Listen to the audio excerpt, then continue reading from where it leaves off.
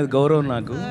వెనల్ కిషోర్ ఇంత యంగ్స్టర్ని నన్ను ఇక్కడ ఇంత అందగాడిని పెట్టుకుని నీ ఎంకమ్మల్లారా?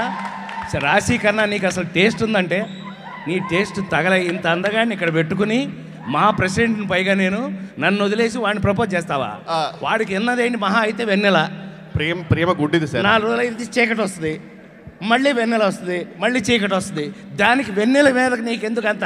అర్థమైందా? అర్థం అవ్వలేదా నవ్వుతున్నావు ఊరికే. క్యా అర్థం हो गया है ओ, ओ అది తెలుగు అవును సారీ సారీ సారీ क्या मालूम हो गया मैं क्या बोल रहा हूँ अरे इसका नाम तो వెన్నెల ఏమంటారు चांदनी चांदनी जैसा है चांदनी तो थर्टी डेज नहीं रहते फिफ्टीन डेज रहते फिफ्टीन डेज में दो दिन रहते बाद में नहीं रहते उसको प्रपोजल करते तू अरे देखो इत- कितना चांदनी है thirty seven years still going strong Yes, sir. I will talk to you afterwards Yes, sir.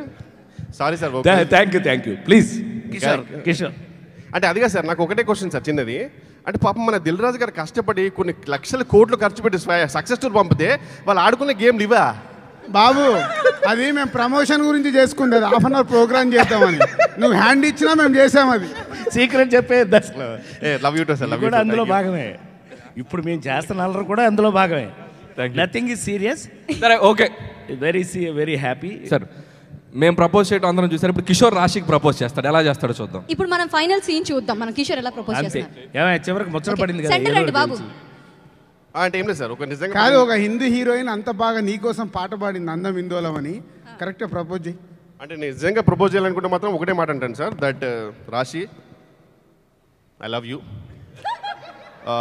I won't say I will die for you but I will surely try for you శబాష్ శబాష్ claps claps claps god very good very super ఇలా propose చేసి ఇలా propose చేసే ప్రపంచంలో ఉన్న హీరోయిన్లు అందరూ ఈయనకే పడతారు. Very much